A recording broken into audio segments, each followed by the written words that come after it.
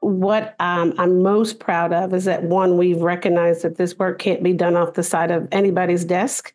That we need, as Nathan has said multiple times, we need to be intentional about it. And so we recently hired a director of culture, community, and events, because it really is when you think about Eventbrite, what happened in 2020, we know what happened to us during the pandemic. Since then, 75% of our employees are zero to three, the zero to three year population was hired after the pandemic. So all of us, and we're, we're virtual, right? Most of us are virtual. So we really needed to focus on culture and community because there's just so much newness to our 17 year old company. And so having someone whose job this is, Chris Martinez joined us from Oyster. Oyster was 100% remote. So, like, it's ingrained in how he works.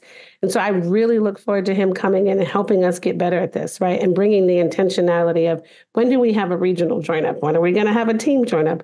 When do we just have a the local join up that's impromptu? And how do we one of the focuses is not just on him doing it, but is in creating that DIY playbook so that if I decide I want to have a pop up and Taco Tuesday, how do I make sure that it is inclusive? So um, you see where my mind is, Taco Tuesday. So how do I do that in my region so that again we have more culture carriers?